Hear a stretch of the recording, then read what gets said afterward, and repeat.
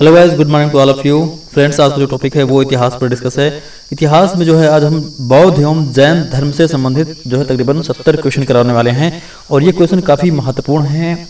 इनको one by one करके हम देखते हैं। चलिए, पहला क्वेश्चन है कि बौद्ध धर्म की स्थापना किसने की थी? तो सही आंसर है, बौद्ध धर्म की स्थापना गौतम बुद्ध ने की थी। दूसरा क्वेश्चन है, गौतम बुद्ध का जन्म कब और कहाँ हुआ था? तो सही आंसर है, गौतम बुद्ध का जन्म जो है, पाँच सौ बीसी में लुम्बनी में हुआ था। इसी क्रम में तीसरा क्वेश्चन है कि गौतम बुद्ध का बचपन का क्या नाम था? तो सही आंसर है, सिद्धार्थ। और इसे मैं बता दूँ कि जो है लुम्बनी अब नेपाल में पड़ता है। गौतम बुद्ध का बचपन का नाम जो है सिद्धार्थ था। अगला क्वेश्चन है कि गौतम बुद्ध किस वंश से संबंधित थे? तो वो है साक्य जी हाँ साक्य वंश से संबंधित थे। अगला क्वेश्चन है कि गौतम बुद्ध के त्याग का प्रतीक क्या था? तो सही आंसर है घोड़ा। जी हाँ उनके त्याग का प्रतीक जो है वो घोड़ा था। अगला क्वेश्चन है कि गौतम बुद्ध के पहले गुरु का क्या नाम था? तो सही आंसर है अलार कलाम। जी हाँ अलार कलाम जो है गौतम बुद्ध के पहले गुरु थे। अगला क्वेश्चन है, बुद्ध ने किस भाषा में अपना उपदेश दिया था? तो सही आंसर है पाली भाषा में। जी हाँ पाली भाषा में जो है उन्होंने अपना उपदेश दिया था। अगला क्वेश्चन है कि बुद्ध के विभिन्न उपदेशों को किसमें संग्रहित करके रखा गया है? तो सही आंसर है त्रिपिटक में।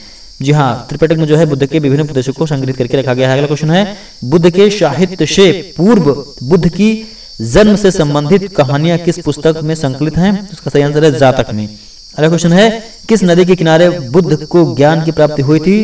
तो ये सही आंसर इसका निरंजना। जी हाँ निरंजना नदी के किनारे जो है बुद्ध को ज्ञान की प्राप्ति हुई थी। अगला क्वेश्चन है, किस आयु में गौतम बुद्ध को ज्ञान की प्राप्ति हुई थी? तो सही आंसर है पैंतीस वर्ष की आयु में। पीपल के पेड़ के नीचे जो है, इनको ज्ञान की प्राप्ति हुई थी। अगला क्वेश्चन है, गौतम बुद्ध ने अपना पहला उपदेश कहाँ दिया था? जिसे धर्म चक्र परिवर्तन के नाम से जाना जाता है तो इसका सही आंसर है सारनाथ में। जी हाँ सारनाथ में जो है, इन्होंने अपना पहला उपदेश दिया था और यह पहला उपदेश जो है धर्म चक्र परिवर्तन के नाम से जाना जाता है। अगला क्वेश्चन है कि पहला बौद्ध संगीत का आयोजन कहाँ किया गया था? तो उत्तर है इसका राजगृह। जी हाँ पहली बौद्ध संगीत जो है, वो राजगृह में आयोजित की गई थी। अगला क्वेश्चन है कि अशोक ने तीसरे बौद्ध संगीत का आयोजन कहाँ करवाया था?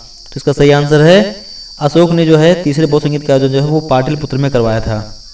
और अगला क्वेश्चन है कि चौथे एवं अंतिम बौद्ध का आयोजन किस शासक के शासनकाल में हुआ था?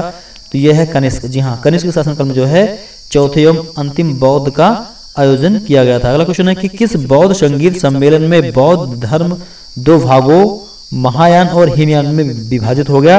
उसका सही आंसर है चतुर्थ बौद्ध संगीत में। जी हाँ चतुर्थ बौद्ध संगीत में जो है, बौद्ध धर्म, हीनयान और महायान में विभाजित हो गया। अगला क्वेश्चन है कि महायान संप्रदाय का सर्वाधिक विकास किसके शासनकाल में चरमोत्कर्ष पर पहुँचा?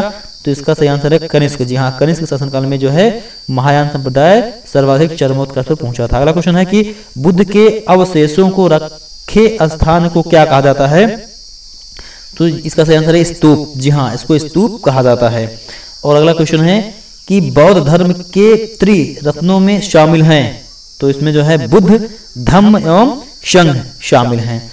अगला क्वेश्चन है कि बौद्ध धर्म के चार प्रमुख शब्द क्या हैं? तो इसका सही आंसर है दुख। दुख के कारण, दुख का अंत और दुख के अंत का मार्ग। ये जो है चार कारण है। अगला क्वेश्चन है कि अष्टांगिक मार्ग का प्रतिपादन किसने किया था? तो इसका सही आंसर है गौतम बुद्ध ने किया था। अगला क्वेश्चन है कि लाइट ऑफ़ एशिया के रूप में किन्हें जाना जाता है तो उसका सही आंसर है गौतम बुद्ध। अगला क्वेश्चन है कि गौतम बुद्ध की मृत्यु कब और कहाँ हुई थी तो उसका सही आंसर है चार सौ तिरासी बीसी में कुशीनगर में हुई थी। अगला अगला क्वेश्चन है कि बुद्ध चरित्र की रचना किसने की थी तो इसका सही आंसर है अश्व घोष ने। जी हाँ अश्व घोष ने जो है बुद्ध चरित्र की रचना की थी। अगला क्वेश्चन है कि गौतम बुद्ध के जन्म, यानी कि निर्वाण एवं मृत्यु, यानी परिनिर्वाण को प्रतिवर्ष किस रूप में मनाया जाता है? उसका सही आंसर है बैसाख पूर्णिमा या बुद्ध पूर्णिमा के रूप में मनाया जाता है। महात्मा बुद्ध द्वारा ज्ञान प्राप्त की घटना को बौद्ध धर्म में किस नाम से जाना जाता है? उसका सही आंसर है संबोधि। जी हाँ संबोधि के नाम से जाना जाता है। अगला क्वेश्चन है कि किसे प्रारंभिक बौद्ध धर्म का इन साइक्लोपीडिया कहा जाता है? तो सही आंसर है सुत्त पिटक को। जी हाँ सुत्त पिटक को जो है प्रारंभिक बौद्ध धर्म का इन साइक्लोपीडिया कहा जाता है। अगला क्वेश्चन है कि नवीं शताब्दी में बिहार तथा बंगाल के किस शासक ने बौद्ध धर्म के प्रचार प्रसार में महत्वपूर्ण योगदान दिया था तो इसका सही आंसर है पाल शासक ने। अगला क्वेश्चन है कि बुद्ध का जन्म, ज्ञान की प्राप्ति तथा महापरिनिर्वाण किस तिथि को हुई थी तो इसका सही आंसर है बैसाख पूर्णिमा को। अगला क्वेश्चन है कि महात्मा बुद्ध ने सर्वप्रथम किन दो सूत्रों को बौद्ध धर्म का सर्वप्रथम अनुयायी बनाया तो उसका सही आंसर है तपस्या और काल्पिक। जी हाँ तपस्या और काल्पिक को जो है इन्होंने बनाया था। अगला क्वेश्चन है कि बौद्ध भिक्षुओं के निवास स्थान को विहार, जबकि इनके पूजा स्थल को क्या कहा जाता है? तो उसका सही आंसर है चैत्य। जी हाँ इनके पूजा स्थल को चैत्य कहा जाता है। अगला क्वेश्चन है कि बौद्ध धर्म का सर्वाधिक प्रचार किस राज्य में हुआ था? तो उसका सही आंसर है कौशल में। अगला क्वेश्चन है कि भारतीय दर्शन में तर्कशास्त्र का विकास किस धर्म के प्रभाव का परिणाम था? तो उसका सही आंसर है बौद्ध धर्म का। अगला क्वेश्चन है कि वह व्यक्ति कौन था जिससे महात्मा बुद्ध ने योग व उपनिषद की शिक्षा ली थी? तो उसका सही आंसर है अलार कलाम। जी हाँ अलार कलाम थे वो। और अगला क्वेश्चन है कि वह स्थान कौन सा था जहाँ महात्मा बुद्ध का अंतिम समय बीता था? तो उसका सही आंसर है वैशाली। अगला क्वेश्चन है कि जैन धर्म के प्रवर्तक या संस्थापक कौन थे? उसका सही सही आंसर है वर्धमान महावीर। जी हाँ वर्धमान महावीर जैन धर्म के संस्थापक और परिवर्तक थे। अगला क्वेश्चन है कि महावीर स्वामी का जन्म कब और कहाँ हुआ था? उसका सही आंसर है 540 बीसी में कुंडग्राम, जो कि बिहार में पड़ता है, यहाँ हुआ था। अगला क्वेश्चन है कि महावीर स्वामी का प्रतीक चिन्ह क्या है? तो शेर है। जी हाँ इसका प्रतीक चिन्ह क्या है, इनका शेर है। अगला क्वेश्चन है कि भगवान महावीर का संबंध किस वंश से था? तो इसका सही आंसर है इच्छवाक वंश से। जी हाँ इच्छवाक वंश जो है, इनका संबंध था। अगला क्वेश्चन है कि किस नदी के किनारे भगवान महावीर को ज्ञान या कैवल्य की प्राप्ति हुई थी? तो इसका सही आंसर है रिजपालिका नदी के किनारे। जी हाँ। अगला क्वेश्चन है कि तीर्थंकर महावीर के पहले शिष्य जो बाद में उनका दामाद भी बना। कौन था? तो इसका सही आंसर है जमाली। हाँ जमाली जो है इनके शिष्य थे जो बाद में इनके दामाद भी बने। अगला क्वेश्चन है कि जैन धर्म में कुल कितने तीर्थंकर शामिल थे? तो इसका सही आंसर है चौबीस। जी हाँ चौबीस तीर्थंकर शामिल थे। अगला क्वेश्चन है कि जैन धर्म के पहले तीर्थंकर का नाम क्या था? तो उसका सही आंसर है ऋषभ देव। ऋषभ देव जो है जैन धर्म के पहले तीर्थंकर थे। अगला क्वेश्चन है कि जैन धर्म के तेईसवें तेईसवें तीर्थंकर कौन थे? तो इसका सही आंसर है पार्श्वनाथ जो है, ये तेईसवें तीर्थंकर थे। अगला क्वेश्चन है कि तीर्थंकर पार्श्वनाथ की मूर्ति की पूजा किसके प्रतीक के रूप में की जाती है? इसका सही आंसर है सांप। जी हाँ सांप के रूप में की जाती है। अगला क्वेश्चन है कि किस जैन तीर्थंकरों का वर्णन ऋग्वेद में वर्णित है। तो इसका सही आंसर है कि ऋषभानंद। जी हाँ ऋषभानंद। ये जो है, ऋषभानंद अरिष्ट नेम ऋषभानंद अरिष्ट नेम ये जो है ऋग्वेद में वर्णित है इसका। अगला जो है क्वेश्चन है कि जैन धर्म के तीन रत्नों में शामिल हैं। तो सही आंसर इसका, सही विश्वास, सही ज्ञान और सही व्यवहार। ये जो है, ये शामिल है। अगला है कि जैन धर्म के पाँच महाव्रत कौन से हैं? तो जैन धर्म के पाँच महाव्रत जो हैं, वो अहिंसा, सत्य, आस्तेय, अपरिग्रह एवं ब्रह्मचारी हैं। और अगला क्वेश्चन है कि पहले जैन संगीत का आयोजन कहाँ हुआ था? तो इसका सही आंसर पाटलिपुत्र में हुआ था। अगला क्वेश्चन है कि किसके नेतृत्व में जैन धर्म का प्रचार प्रसार दक्षिण भारत में हुआ था? तो सही आंसर है भद्रबाहु। जी हाँ भद्रबाहु के नेतृत्व में जो है, दक्षिण भारत में इसका प्रचार प्रसार हुआ था। अगला क्वेश्चन है कि अशोक के किस पोते ने जैन धर्म को ग्रहण किया था?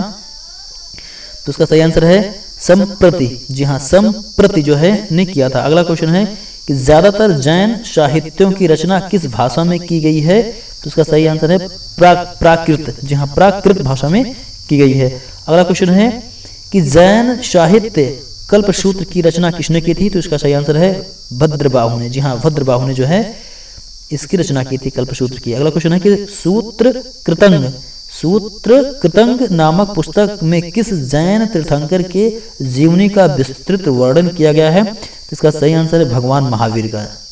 अगला क्वेश्चन है कि श्रवण वेला श्रवण वेल गोला में विख्यात गोमतेश्वर मूर्ति का निर्माण किसने करवाया था? तो इसका सही आंसर है चंद्रगुप्त ने करवाया था। अगला क्वेश्चन है कि कालांतर में जैन धर्म किन दो भागों में विभाजित हो गया? तो उसका सही आंसर है श्वेतांबर और दिगंबर में। अगला क्वेश्चन है कि श्वेतांबर कुल का निर्माण किसके नेतृत्व में हुआ था? तो इसका सही आंसर है बाहु जी हाँ बाहु के नेतृत्व में जो है श्वेतांबर कुल का निर्माण हुआ था।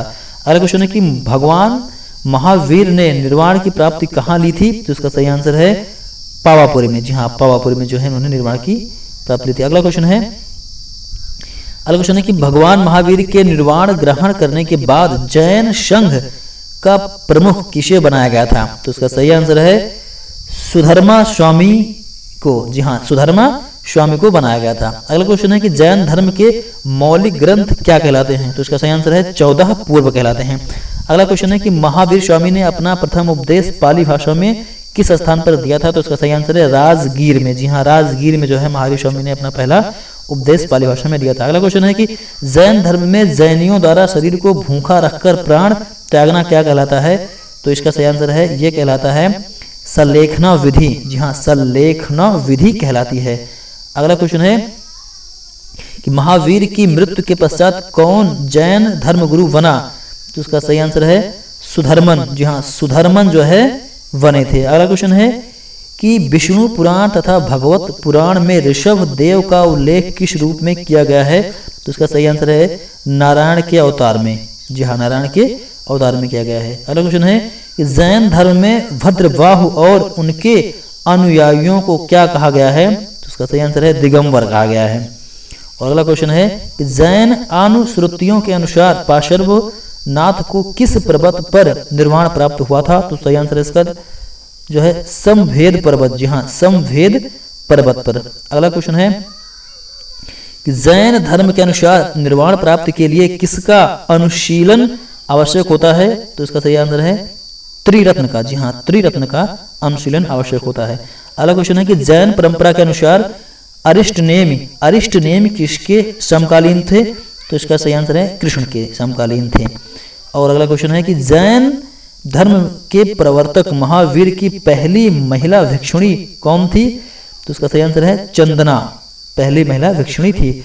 और आखिरी क्वेश्चन है, बिहार में स्थित वह कौन सा स्थल बौद्ध धर्म एवं जैन धर्म दोनों के लिए तीर्थ स्थल है तो सही आंसर है वैशाली। जी हाँ वैशाली बिहार का वो स्थान है जो बौद्ध एवं जैन दोनों धर्म के लिए तीर्थ स्थल बना हुआ है। तो इस प्रकार से आज का वीडियो समाप्त हुआ।